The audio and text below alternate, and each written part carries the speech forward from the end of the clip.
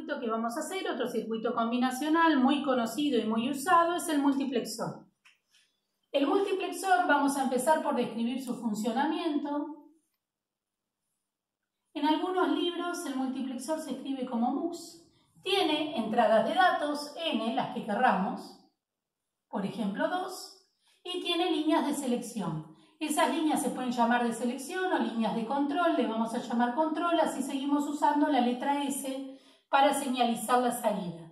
Entonces, tengo entradas de datos y tengo una línea de selección o de control. Si en esta línea de selección o control vamos a buscar otro fibrón, pongo un 0, va a habilitar la entrada número 0, que para ponerle un nombre le vamos a llamar a esta entrada de 0. Y cuando la línea de control tenga un 1, va a habilitar la entrada de 1. Entonces, vamos a llevar este comportamiento a una tabla de verdad. ¿Yo tengo cuántas entradas? Bueno, tengo dos entradas de datos y una de control o selección. Así que tengo en total tres entradas. Para hacer una tabla de verdad con tres entradas, yo necesito 2 al cubo, 8 combinaciones posibles. Mis entradas van a ser la entrada de control, como dijimos antes, que puede estar en 0 o en 1. Vamos a cambiar el fibrón y también tengo las entradas de datos. Dato 1 y tengo también dato 0. Salida, como dijimos, tengo una sola y si tengo una salida sola, significa que este circuito, el multiplexor, no es multifunción. Arrancamos, vamos a escribir todas nuestras combinaciones. Podríamos escribirlas en binario 000, 001 o bien de una forma más rápida con los pesos 1, 2, 4. Así que C va a tener 4 ceros y ahora vamos a escribir los 4 unos. De 1 va a tener 2 ceros, 2 unos, 2 ceros, 2 unos y de 0 un 0, un 1, 0, 1, 0, 1, 0, 1. Vamos a emular el mismo comportamiento que dijimos que tenía cuando lo explicamos acá. Cuando C está en cero, que lo habíamos dibujado de rosa, todos estos casos, a la salida se va a copiar lo que hayan de cero. Entonces copio lo que tiene la columna de al lado. Pero cuando la C esté en 1, que serían los cuatro casos de abajo, dijimos que a la salida quiero ver lo que hayan de 1. Y en de 1 tenemos 0, 0, 1, 1, que serían estos casos. Esta tabla de verdad describe el comportamiento de lo que dibujamos antes, pero bien, nosotros queremos llegar a una expresión lógica y poder entender cómo es el circuito. Entonces vamos a empezar por la expresión lógica. La salida está dada por una función y la vamos a expresar a través de los mini términos. Para expresarla por mini términos tengo que buscar los unos. Empiezo con el primer uno rosa que va a ser c negado porque está en cero, de 1 negado porque está en 0 y de 0 sin negar porque está en 1. Vamos al otro 1 rosa, que obviamente va a tener de vuelta las tres variables. Vamos a ver cuál o cuáles de ellas van negadas. Como solo C está en 0 es la que va negada. Vamos a escribir dos términos más para la parte que nos queda por debajo de la tabla de verdad y vamos a ver ahora quiénes negamos. Serían las dos últimas filas. En la última están todas en 1, no niego a ninguna, y en la anterior tengo que negar a decir. Yo podría ya dibujar este circuito así como está, pero nosotros vamos a tratar de optimizarlo, hacer una versión resumida del circuito, simplificarlo. Para simplificar funciones tenemos métodos como es el método de Carnot, pero también podemos hacerlo por algebreo, que es lo que vamos a hacer ahora. Para hacerlo por algebreo yo voy a elegir qué términos agrupar con cuáles y por ejemplo les voy a proponer agrupemos estos dos y agrupemos estos dos. Empiezo con estos dos y veo que tienen algo en común. ¿Qué tienen en común? C negado y tienen en común D cero. No hay factor común en álgebra de Boole, insistimos bastante con esto, hay distributiva. Pero hacer el factor común lo podemos interpretar como la inversa de la distributiva. Es decir, si a mí lo que me quedó de un factor común lo distribuyo, vuelvo al paso anterior.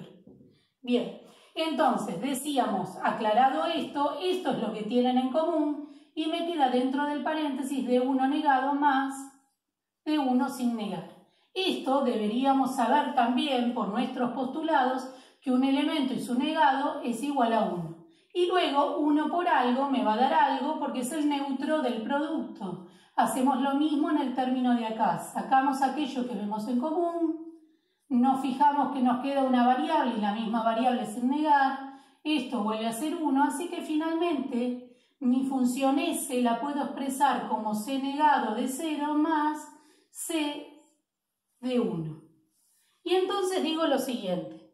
Lo que me quedó escrito es el mismo comportamiento que explicamos acá. ¿Por qué? Cuando C esté en 0, este término se simplifica, porque 0 por algo me da 0. Este término hace que C negado sea 1 y 1 por D 0 es de 0. Cuando C está en 0, sale de 0. Y cuando C está en 1, esto va a valer 0, este término se simplifica y queda de 1. Es decir, esta expresión es equivalente al comportamiento que definimos al principio. Vamos a hacer entonces una tabla reducida. En la tabla reducida vamos a escribir solo C y la salida. ¿Y qué fue lo que dijimos? Dijimos que cuando C está en 0, a la salida voy a ver de 0 y que cuando C está en 1, a la salida voy a ver a de 1. Bien, entonces podemos concluir que si yo tengo dos líneas de datos, voy a necesitar una línea de selección o de control para habilitar uno o el otro. Ahora, si yo tuviera dos líneas de selección o de control, lo vamos a dibujar acá abajo. Ahora tengo dos líneas, tengo C0 y C1. ¿Cuántas entradas podría tener? Bueno, cuando pongo 0, 0, debería la salida habilitar de 0. Pero si pongo 0, 1, debería habilitar de 1. Si pongo 0, eh, perdón, 1, 0, debería habilitar de 2. Y si pongo 1, 1, debería habilitar de 3. Muy bien. O sea que acá tenemos un multiplexor que agrega una línea de control o de selección. La pregunta ahora es, si yo quiero hacer esta tabla, ¿cuántos renglones debería tener esta tabla? Bien, tengo 4 de datos más 2 de selección, tengo 6 variables de entrada. O sea que ahora tengo 2 a las 6 combinaciones, tengo 64 líneas en mi tabla de verdad. Claramente no vamos a hacer en el tamaño del pizarrón los 64 renglones para representar todas las combinaciones posibles. Vamos a ayudarnos del procedimiento que hicimos antes para poder escribir cómo sería la función y luego dibujar el circuito.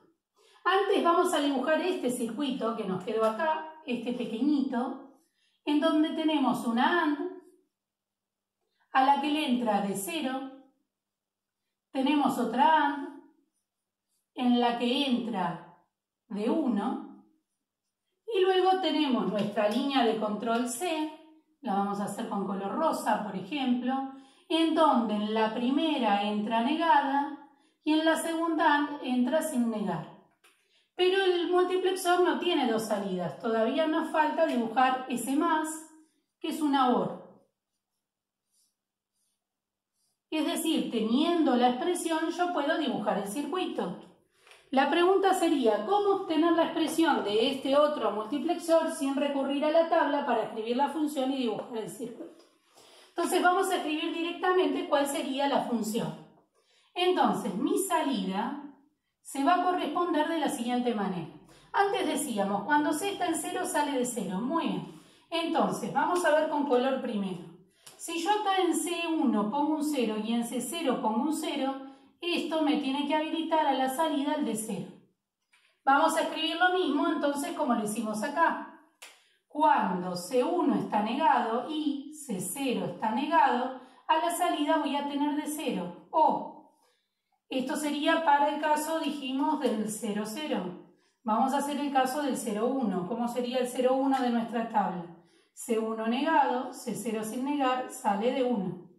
O el siguiente caso, que yo tengo 1, 0, entonces esto va a ser C1 sin negar, C0 negado, y voy a sacar C2. Dijimos, es la correspondencia de las líneas de control con el número de línea que voy a habilitar. Con 0, 0 habilito C0, con 0, 1, que en decimal vale 1, habilito de 1, con 1, 0, que en decimal vale 2, habilito de 2 y me falta el caso de 1, 1, que van a ser las dos sin negar. Y con esas dos sin negar, voy a habilitar de 3. O sea que ya tengo la construcción necesaria para dibujar un circuito análogo a este, que es lo que vamos a hacer ahora. Necesito una, dos, tres, cuatro compuertas AND.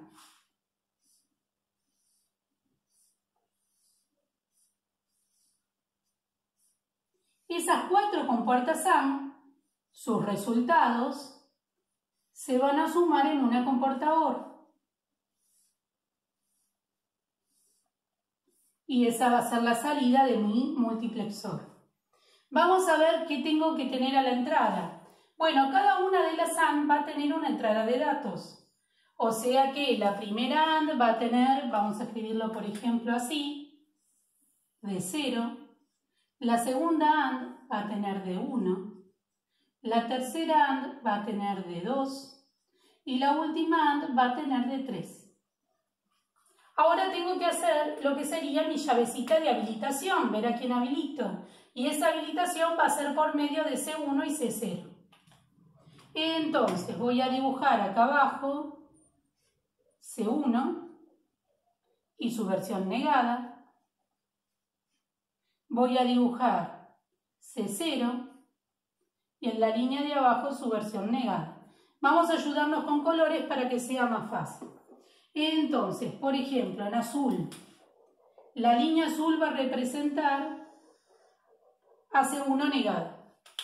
La línea roja va a representar a C0 negado. Y vamos a prestar atención, vamos a mover esto, así nos queda el circuito de arriba separado, y vamos a prestar atención cuando tengamos que usar las líneas directas. Entonces, con todos los fibrones necesarios en mano arrancamos. De cero va a salir cuando las dos estén negadas, o sea que necesito las dos con colores. Como estoy usando colores no les voy a hacer los puentecitos de separación. Para que salga de 1 voy a necesitar 0,1, entonces voy a necesitar C1 negado, que va a ser en azul, y C0 sin negar, de forma directa. Entonces esta va a ser en verde. Para armar el 2, perdón, en negro, para armar el 2 vamos a hacer al revés. Necesito un 1 acá y un 0 acá. 0 acá va a ser la línea roja, arrancamos por eso. Y un 1 en C1 va a ser la línea negra que le vamos a hacer un puente, cuando se junta con la otra línea negra. Estamos en el último, que el último es de 3, que va a ser 1, 1. Así que vamos a tomar las dos líneas negras. Primero esta, y después vamos a tomar esta otra. Entonces, este sería el circuito análogo al circuito que nos quedó arriba y no tuvimos que hacer la tabla de verdad. Vamos a escribir la tabla reducida. ¿Cómo sería la tabla reducida de este circuito? Este circuito va a tener C1 y C0 y va a tener una única salida. Estamos diciendo cuando las dos sean 0, sale de 0, cuando tengo la combinación 0,1, habilita de 1. Cuando tengo la combinación 1,0, habilita de 2. Y cuando tenga la combinación 1,1, habilita de 3. O sea que hay una relación, repetimos, entre la cantidad de entradas y la cantidad de líneas de selección o de control que necesito. Entonces, anotamos para acá. Para n líneas de selección, por ejemplo, acá teníamos una, o de control, como queramos llamarle. Tengo 2 a la n entradas. Entonces, con una sola línea de control, yo puedo tener dos entradas. Con dos líneas de control podré tener cuatro entradas. Cuando tenga tres líneas de control voy a tener ocho entradas de datos. Para saber las entradas totales a las de datos les tengo que sumar las de control y las tablas de verdad son cada vez más grandes. Por eso viene bien entender el procedimiento y poderlo transformar o trasladar a circuitos con más cantidad de entradas, más complejos.